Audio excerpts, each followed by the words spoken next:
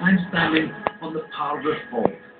Parvert in the Lat means wave, and when you look at it, you see it undulating away into the distance. And what's